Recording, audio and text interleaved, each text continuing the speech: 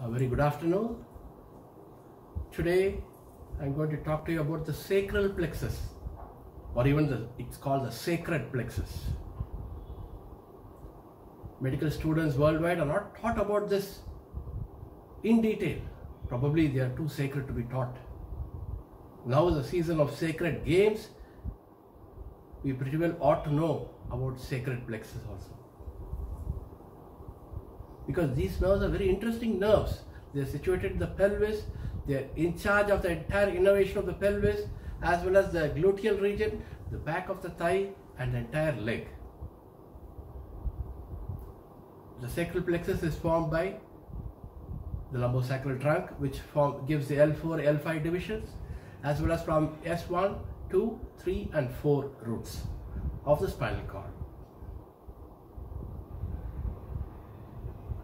You have to holistically visualize the entire pelvis has got too many muscles inside as well as too many muscles outside.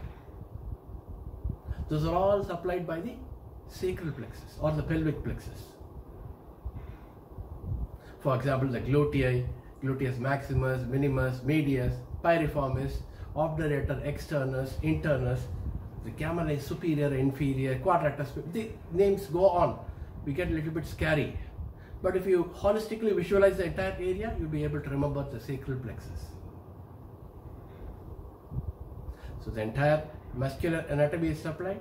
The entire skin of that area, most sensitive and erotic areas of the body are supplied by the sacral plexus. We ought to know. So what are the nerves of the sacral plexus? First comes the superior gluteal nerve and the inferior gluteal nerve. These are the two nerves which supply the gluteal muscles which help you develop your glutes. Now latest fad worldwide is to tone up one's glutes. You have to thank your gluteal nerves, superior and inferior gluteal nerves for toning up your gluteal muscles. Superior and inferior gluteal nerves. Then comes the nerve to the piriformis, a small muscle which is in the pelvis. It comes out and uh, it is inserted into the posterior aspect of the femur small trick called nerve to piriformis. It gets frequently spasmed, causing severe pelvic pain. It has to be diagnosed and treated accordingly. Then come the two other nerves which supply the obturator internus and the inferior superior gemellus, the quadratus femoris and the inferior gemellus. It's very confusing, the terminology. So remember OSQI, O-S-Q-I obturator internus and superior gemellus is one pair. Os. Key. Quadratus femoris and inferior gemellus is another pair. So the nerve to obturator internus supplies the superior gemellus. The nerve to quadratus femoris supplies the inferior gemellus. Being pelvis, there are too many nerves starting with P. So if you remember four P's again, you'll be able to complete the list. The posterior femoral cutaneous nerve, the perforating cutaneous nerve, the posterior branch of the fourth sacral nerve and of course the pudendal nerve. The pudendal nerve is the most important nerve of the pelvis. It descends into the pelvic floor, it supplies the entire pelvis. It supplies the anal area, perianal area, perineum, the muscles of the perineum, the superficial muscles of the perineum, the deep muscles of the perineum and ends by dividing into branches to the posterior scrotum the external genitalia of the males and females are supplied by the pudendal nerve, the most important nerve of the pelvis. Then comes the last but not the least, the largest nerve of the body, the sciatic nerve, or it's called sciatic nerve. It's about 3 centimeters thick. Imagine a nerve 3 centimeters thick, thicker than this stethoscope.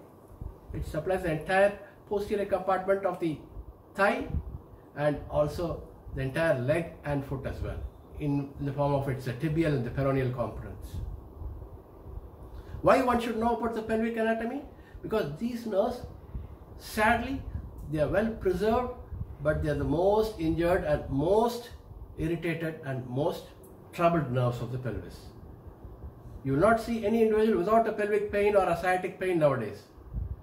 Sciatica, low back pain, one side and back pain, both side back pain, sitting like this for a long time causing back pain. That is a common scenario encountered. We don't make use of these nerves at all. The nerves purpose is to stimulate them. We irritate these nerves and finally we land up with irritated nerves causing so much of pain of the pelvis. A good physiatrist examines you and decides whether it is a muscle spasm, whether it is a ligament injury or whether it is a slip disc or whether it is a pure neuralgia. And accordingly he prescribes maneuvers also. Yoga and stretching exercises are probably the best to prevent these type of pelvic pains. The pelvic dynia it's called. Most of us suffer from because we don't make use of the pelvic muscles for exercises. Yoga is a good proponent for pelvic stretching. One should make an attempt to do yogas, not at this age of 50 and all. You'll land up more with pain.